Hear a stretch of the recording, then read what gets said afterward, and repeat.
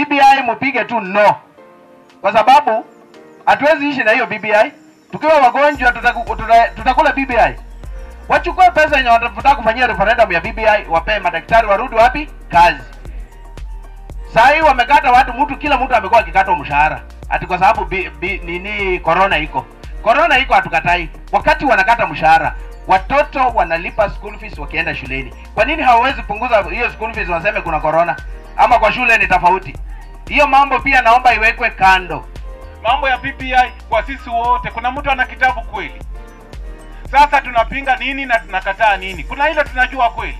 BBI yetu ni kupeleka watoto shule. BBI yetu ni kupeleka mtoto college. BBI yetu ni kuweka chakula kwa nyumba. Hiyo ndio BBI yetu. Hiyo ni ukweli ya mambo. Naona kila mtu hapa kona Biblia, na ile kitu tunataka kupikia kura hatusomi, tunaambiwa tu. Kenya hii ina ufisadi mingi sana.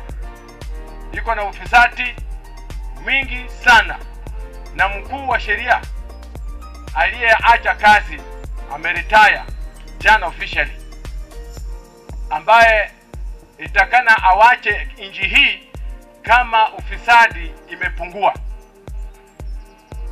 lakini unfortunately ufisadi ndio iko juu zaidi, iko juu zaidi na tungependa kuuliza mahakama yote ya Kenya kuchunguza na kuangalia, kwa sababu msiangalie tu watu wadogo na makanisa peke yake na wale ambao ni wa chini kwa chini. Ufisadi haipatikani kwa watu wa chini, ufisadi unapatikana kwa watu wakubwa, wale wako juu.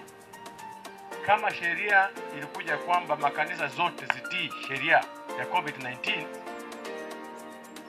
tumejaribu sana kutii na tunafuata guidelines, lakini wale watu wanaitwa wanasiasa wanapoingia katika matanga hawatii sheria za COVID-19.